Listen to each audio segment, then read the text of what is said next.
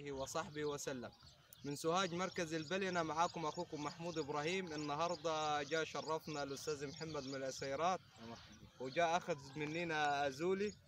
ونقولوا له ربنا ييسر لك الأمور إن شاء الله. الأستاذ محمد من الناس ال- الشباب اللي هم إيه اللي يحبوا يجربوا الحاجات الجديدة والأزولة والإنتاجات الجديدة إن شاء الله. نقول له ربنا يبارك لك إن شاء الله. إن شاء الله. وبارك. الأستاذ محمود.